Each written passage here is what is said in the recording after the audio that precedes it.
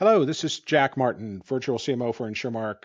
Welcome to the Breakthrough Advisor podcast. This is where leading advisors across the country are coming to get key insight strategies and, and techniques for leveling up their business. And today I couldn't be more excited to have Deborah Taylor, who is really the Uber tax planning wealth manager that uh, it, it, that I know and that a lot of people uh, know know in the business today. She she teaches uh, the master class class for Holistiplan. She teaches at um, Horse's Mouth, teaches there IRA and tax planning.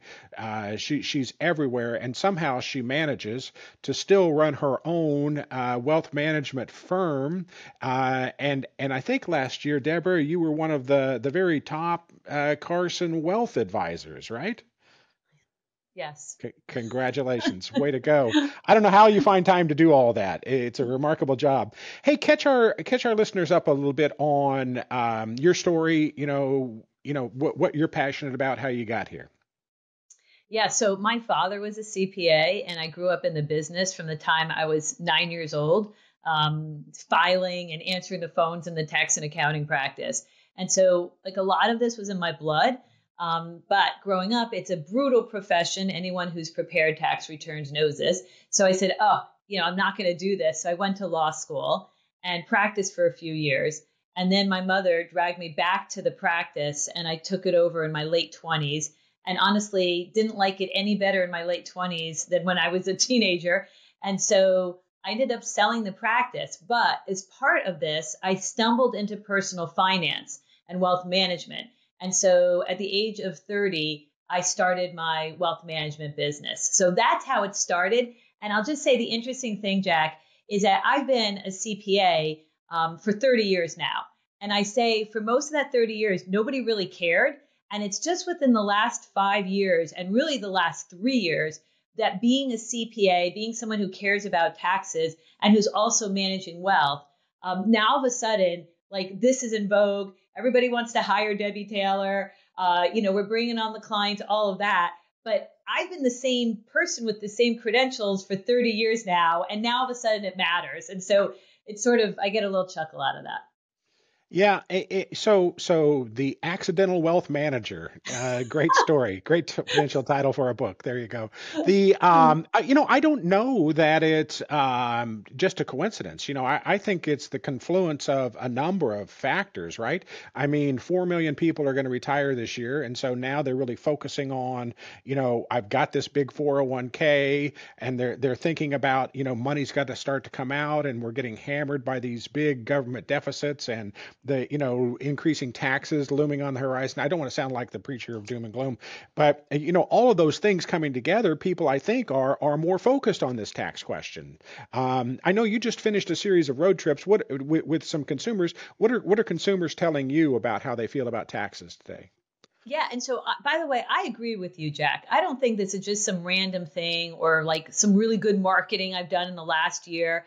Um, I think that there are a number of factors that are meeting now for the first time ever that um, that's making taxes more and more you know, part of the equation. So I I agree with you. Um, and by the way, I don't think that's changing. I think that's here forever now, right? Um, but being on the road for the last two weeks was you know really fascinating. So we were in North Dakota, South Dakota, Colorado, Nebraska, and then all over Texas actually and um, and it was great presenting in front of you know anywhere from 100 to 200 people uh, twice a day. And what I was seeing being out there is that people are caring about taxes and they are thinking about it as part of their wealth management strategy. And so I think that's the real takeaway is that in the past, people are all about, oh, like, let me pick the right investment, right? Let me do that. And then taxes were sort of over here on a shelf somewhere. And every once in a while, you'd like pull out a tax consideration, check the box, and then put it back on the shelf, right? Maybe you would have your tax return prepared. Maybe then somebody would look at it and be like, oh, here's an idea. But it was very discreet, right? Very isolated. And more and more, I think people are realizing that taxes has got to be part of the everyday conversation, um, which is good for people like yourself, for people like me who are integrating it into our practices. Yeah, I couldn't agree more. And you know, there certainly is this wealth effect, right? I mean, um, the market's up 25%. I mean, the the the, the Dow hit some 40, uh, S&P hit 40,000, um, you know, this this week, and and or and, and so it's th- this wealth effect is causing people to say, "Wow, you know, wh- what's going to happen?" You know, with this tax situation. So, you know, I think there's a lot of that going on as well, don't you? Yeah, I, I think it's a combination of things because this will come up a lot, right? When I'm talking to people who are trying to hire me or, you know, just in general, and people say, like, why now? Right? Like, taxes have been a thing forever, right? Since 1913, we've had a tax code, right? Like, why now? And I think, like you and I are saying, there are a number of things. It's like the perfect storm. There are a number of things hitting basically all at the same time. So, some of it you mentioned, right? You've got all these people retiring you've got this wealth effect. I mean, basically, we've been in this like 12 year bull market with one or two little blips along the way. Um, and some people have gotten really lucky, big technology allocations. But even beyond that, like this morning, I was reading in the journal, and even this morning, the journal was talking about how almost every asset class is higher, right? Like literally almost every asset class. And so when you talk about a wealth effect, right? You're like, oh, yes, like, what does that mean? But you've got people now, and I call them like good American citizens, like regular people who are sitting on millions of dollars in their traditional retirement plans. And I, you know, I've been in practice 25 years. My guess is you've been in practice for a fair amount of time. You didn't see that 10 years ago, Jack. You didn't see that 15 or 20 years ago. You know, 10 or 20 years ago, if somebody showed up with a large retirement account, they were a doctor at the top of the food chain they were an executive at a large company, or maybe they were part of a, a, very successful family business that's been around for generations. Like those are the people that showed up years ago with these large IRA balances or large 401ks. Today, you basically have what I call solid American citizens, you know, people that just lived within their means and have lived long enough that now they have these huge retirement account balances. So you've got this sort of wealth effect. Um, also courtesy of this 12 year bull market. The other issue is that you've got what I call tax chaos, is that for years, the tax code was a very sleepy area. There really wasn't much going on. And then, courtesy of 2017 and the TCJA, um, that's, I believe, sort of heralded in tax chaos. And once you saw the TCJA of 2017, and now its aftermath, where literally every year, just about, we have tinkered with the tax code, like almost every single year since the TCJ of 2017. And so now taxes are front page news. It's become very politicized, right? It's become a real lightning rod. And we've had several major tax code changes in the last seven years. And again, another one coming up in a year and a half. And so, um, and then on top of all that, Jack, and this is probably a little bit more subtle, but it is equally significant, is life expectancies are longer. And with these longer life expectancies, then we need our money to last longer for us, to work harder for us. And if we're tax inefficient for 30 or 35 years, that's really expensive for us, for our families, for our heirs. And so I think people are also thinking from like a longevity standpoint and I think some of it's intuitive, right? They're not really processing it the way maybe you and I are processing it together out loud here. But they're retiring in their 60s. That money's got to last 30 to 35 years. And basically, people are, again, on some level starting to realize is taxes could be their largest expense in retirement. Yeah, so uh, you're you're spot on. Uh, the the tax chaos thing is a great line. Uh, I'll make sure we get that out to the public. The um the, the, this thing about longevity is a is a topic that we feel really passionate about, and it's it's really something that I think people are just turning a lens on, that to understanding all the nuances to what that means and and making it real. I mean, as a boomer, I'm I'm kind of living that, right?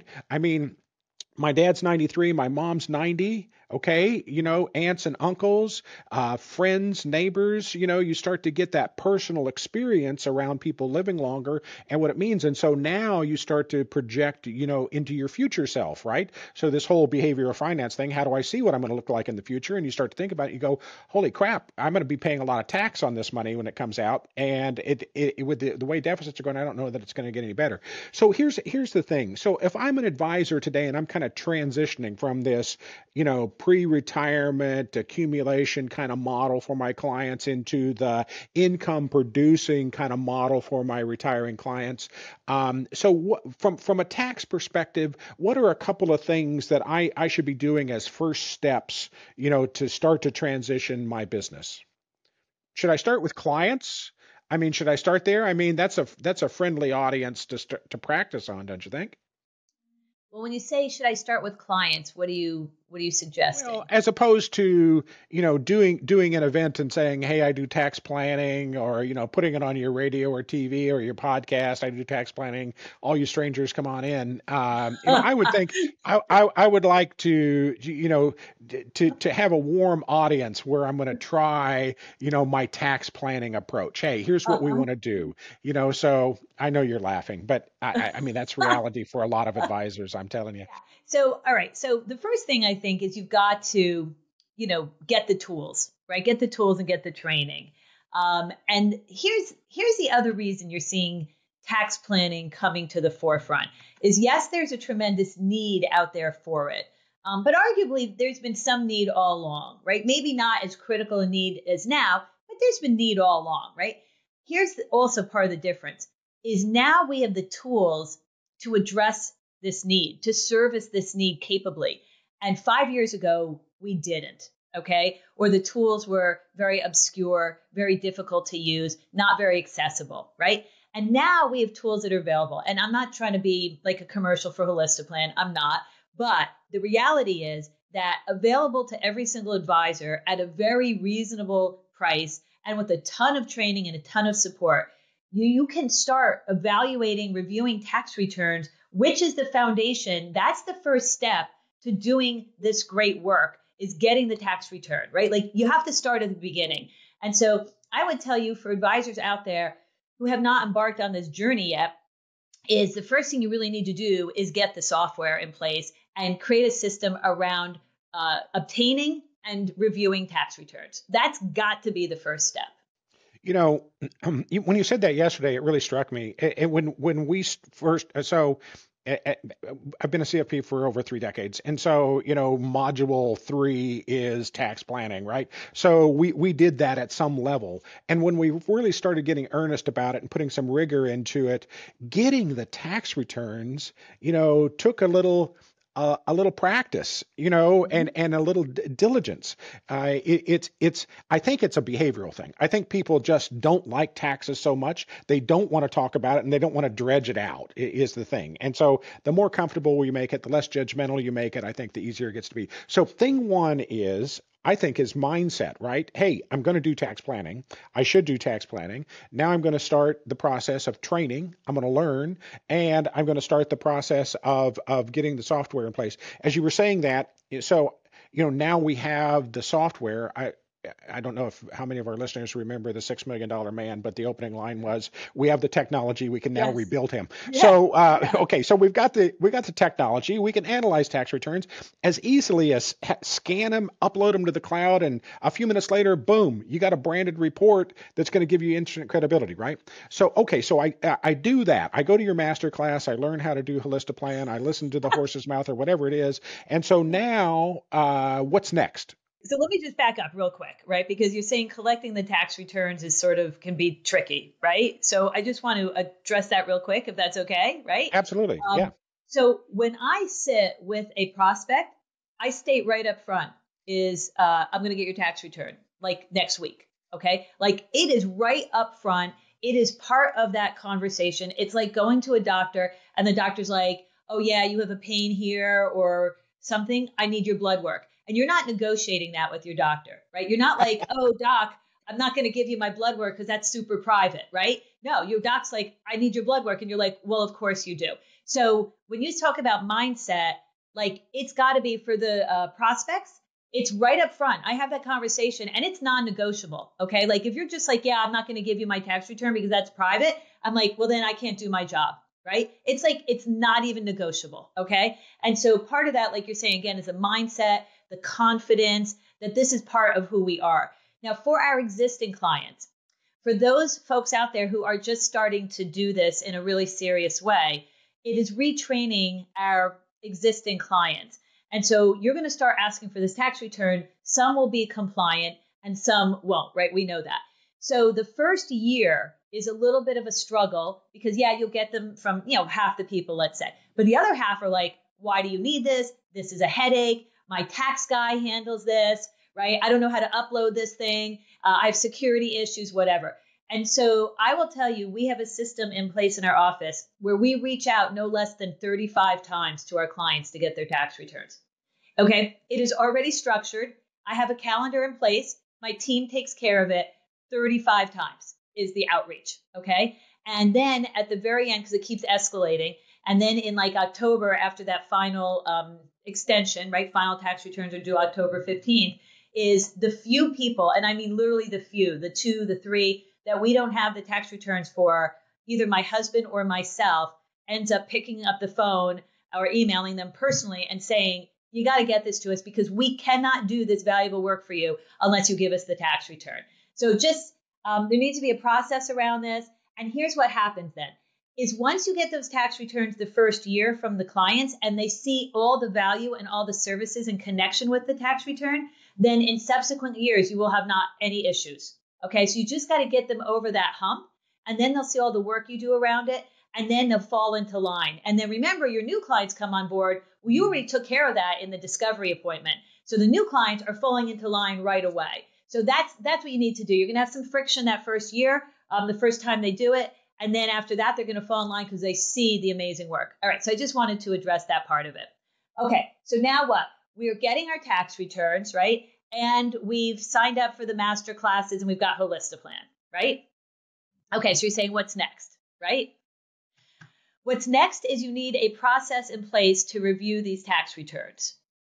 I, I want to make sure our, our listeners are dialed into this. Okay, so we're not saying that you're doing brain surgery on taxes. Okay, there are some easy things that you'll see in the report where you can go through and and e- even in your early days of doing tax planning, you'll be able to see these things.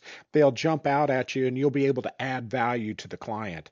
Um, and and so when we say do tax planning, we're not saying you got to prepare the returns. We're not saying you got to do deep analysis or anything like that, right? No, I haven't gotten to any of that yet. I mean, we're still in tax return review uh, level 10. We're in the intro course. We're first first semester freshmen right now. Gotcha. Okay. Okay. Sorry to yeah. interrupt you. No, no, it's okay. I love it when you interrupt me because then we stay we stay on message, right? So yeah, we're first semester freshmen right now. Okay. So you get the tax return, and as you aptly point out, because clearly you've done this, is literally the upload is 30 seconds, literally. Okay. But to your point, Jack, the report you get from Holistiplan has an observations page and it will identify then key observations from the tax return. Now, I have seen the library of potential observations from Holistiplan, right? It's heavily guarded, but of course they shared it with me. I needed to see it. It is literally pages long. It's like 10 or 15 pages of potential observations that then the software will identify in the tax return and then put on that observations page. And then to be clear, the observation page is typically about half a page long or three quarters of a page, identifying a number of key uh, planning items that you can address from the tax return. So here's the thing is you don't even need to technically read the tax return um, or even really look at the tax return report per se, which is only two or three pages. You could literally just go to the observations page and it will identify key planning opportunities for you right off the top. So as as a as a financial advisor, financial professional, wealth manager, what are what are two or three easy wins that I, I can pick up from my client from the returns you know, generally. Say I've got someone, you know, with, with a million dollar net worth to five million net worth, somewhere in that range. What are the common things that that I'll see on those returns where I can add some value? Yeah, so they'll flag Roth conversion opportunities um, oh, for great. people who, yeah, for people who are in like lower tax brackets. They'll be like, hey, you're in the 22% tax bracket. Maybe you should be considering Roth conversions. So uh, that's one that you'll see. Um, for folks that own businesses that have like Schedule C's or Schedule F, it will identify uh, QBI and different types of uh, small business owner um, like deductions and opportunities. So that's a nice help. Um, it will also point out potential tax credits that are available to people again in those lower tax brackets. Um, so it'll address those as, as well. Um, gotcha. Well, yeah. Um, so I mean, there it's it's nice. It's you know, originally when I was getting the tax reports, um, I was ignoring the observations page because I thought, well, I'm a CPA. I don't need Holistiplan to summarize a tax return for me, right? Like I'll just look at the tax return. And then I started looking at the observation report. I'm like, darn, this is a good start. And so now it's one of the first places I go to uh, on you know when I get the report. So um, okay, let, us step back a second. So what what what in addition to tax planning, what what kind of things should the advisor have on his radar in 2024?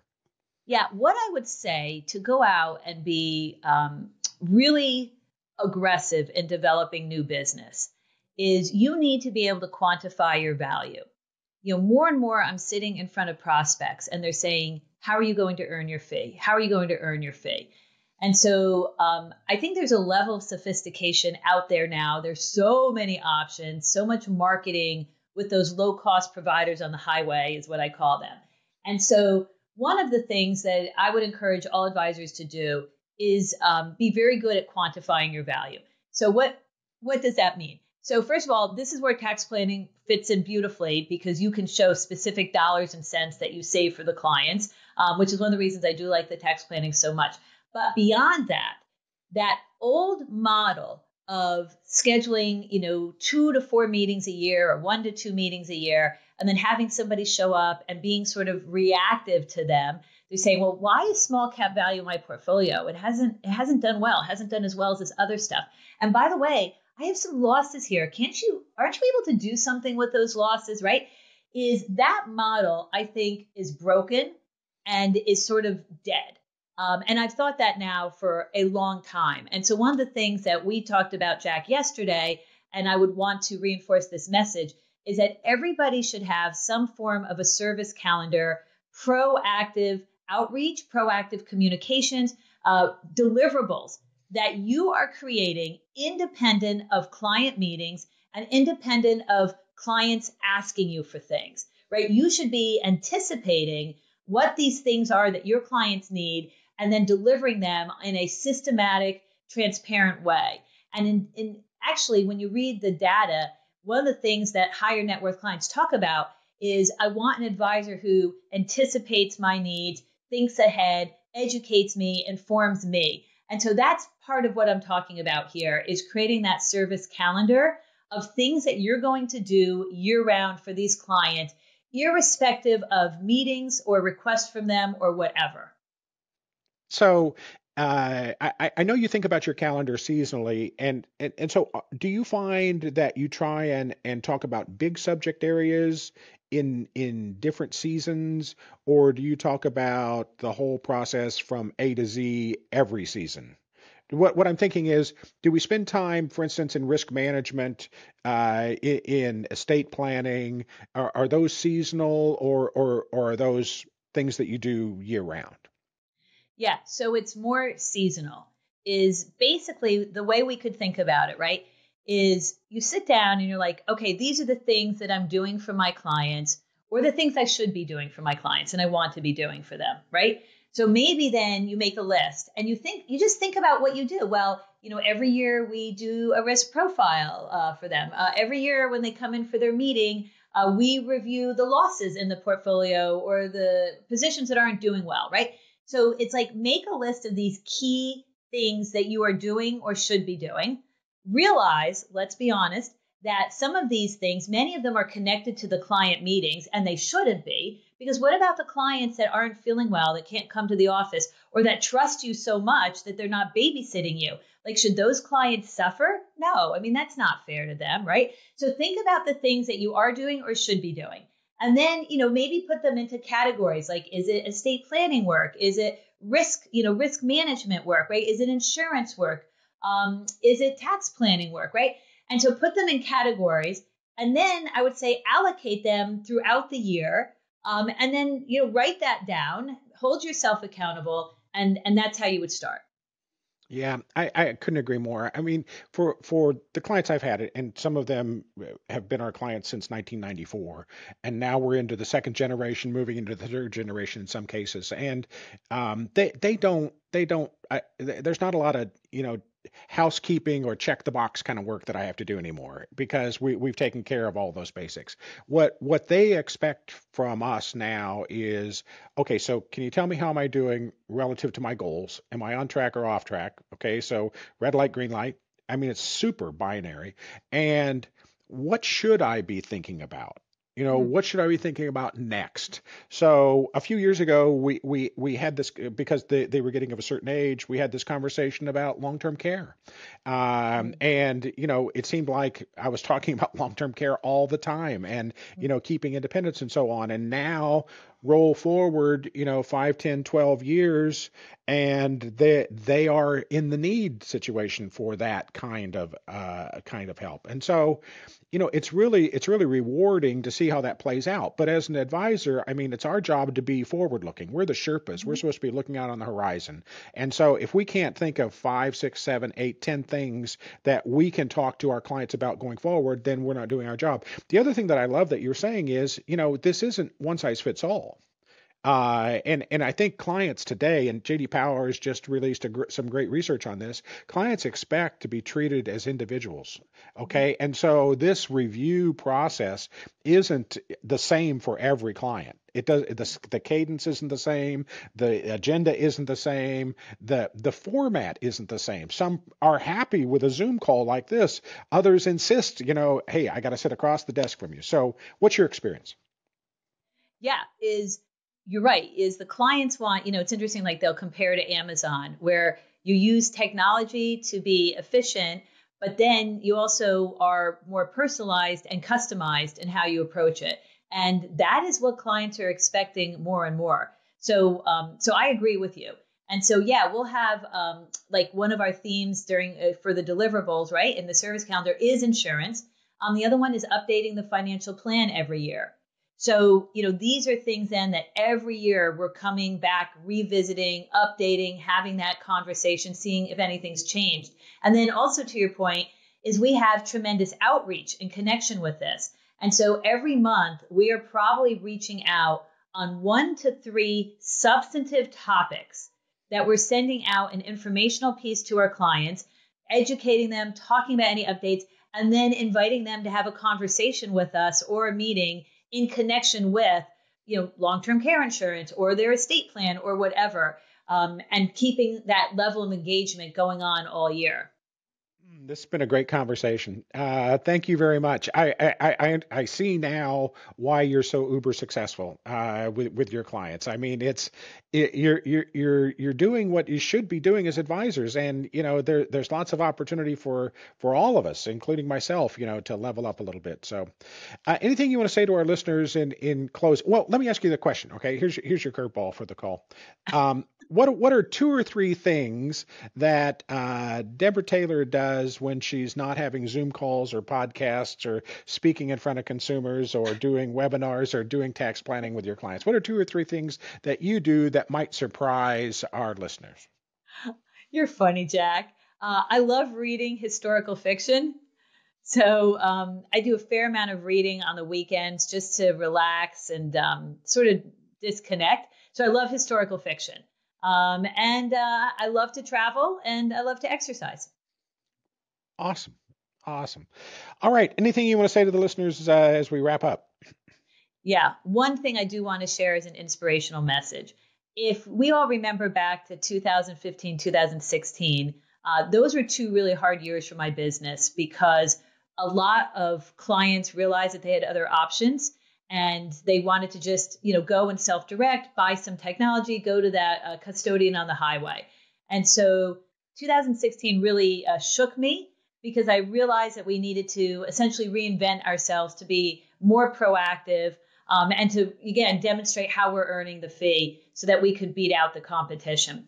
And if you remember for years uh, papers like the new york times and others were basically telling um, clients your advisor is robbing from you. You don't need a financial advisor, right? You can do this all on your own. Just go to an index fund or what have you. And so there was a time in the late teens where I worried whether I would have a business to uh, make it through my retirement or even pass on to the next generation. And what I will tell you is now this technology is coming out, all this fintech that's available to us in so many areas, not just tax planning, that I believe it has breathed new life into the profession and new ways for us to demonstrate value every single day for these clients so that they don't want to go to that custodian on the highway because they are getting so much value from us. And so, what I would encourage our listeners to do is to roll up their sleeves and dedicate themselves to these different areas um, and the fintech and, you know, sort of dedicating the resources, the training. But it is worth it. Every single minute you spend, every single dollar you spend will be worth it in you building an amazing practice, servicing these clients, building enterprise value. Everybody wins. So let's just lean in and make all this happen. Well said. Very well said. You know, the, the technology isn't a distraction. It's designed to help us do more of what we can do as humans, right? Yeah. To be able to listen, engage, understand, uh, and and show them that they're valued. So, awesome. Hey, this has been super exciting. Great, great conversation. Really appreciate your time. Thank you very much for all the good work you're doing for consumers as well as uh, uh advisors. You, you're you're a great add to the industry. Appreciate all you do. Thanks, Jeff. So this is Jack Martin uh, signing off for InsurMark. This has been the Breakthrough Advisor podcast. Check us out wherever your podcasts, uh, wherever you're taking your podcast now. Uh, please like, share, subscribe. Um, make sure you pass this along. There, if you're if you're uh, on your podcast page, you'll find additional resources where you can contact Debra or you can reach out to us to learn more about the, the programs and products and processes and people that we've talked about in this session. So thank you all very much Have a great day.